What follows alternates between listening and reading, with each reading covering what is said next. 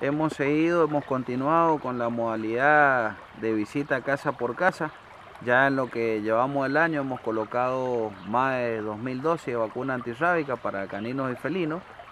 Eh, obviamente que ante esta situación de la pandemia hemos tenido que extremar las medidas de seguridad, tenemos una acción coordinada con el área de salud donde todos los días nos reportan eh, las casas y las familias que, están aisladas posiblemente por casos de, COVID.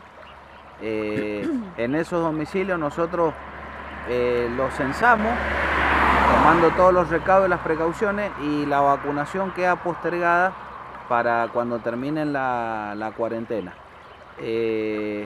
hemos nosotros este año continuamos con el distrito de Villa Bastilla, Después seguimos con el distrito de la Arboleda y bueno, ahora estamos en el Zampal.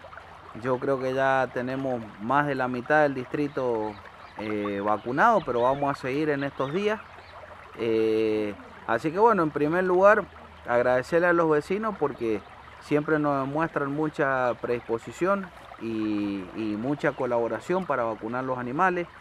Eh, seguir informándole a los vecinos que es una vacuna muy importante porque la rabia es una enfermedad que la provoca un virus, eh, que la transmiten los animales a las personas, por eso es una enfermedad zoonótica y que esta enfermedad en una persona puede provocar la muerte. Entonces, siendo que el municipio presta este servicio en forma gratuita, eh, le seguimos pidiendo la colaboración a los vecinos para para vacunar la mayor cantidad de animales posible. Eh, como bien decís, es una vacuna que se coloca a caninos y felinos eh, a partir de los tres meses de edad y tiene una vigencia de un año, es decir, eh, hay que revacunar al año. Perfecto. ¿Recibieron o han adquirido nuevas dosis en este periodo?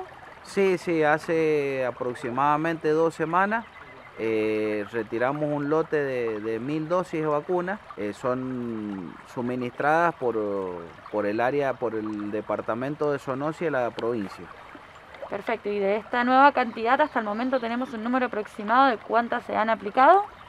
Sí, aproximadamente llevamos entre 2.200 y 2.400 dosis ya colocadas en lo que va del año. Es así, nosotros estamos de lunes a viernes de 9.30 de la mañana, porque está muy frío por el momento, hasta las 13.30. Coordinador, muy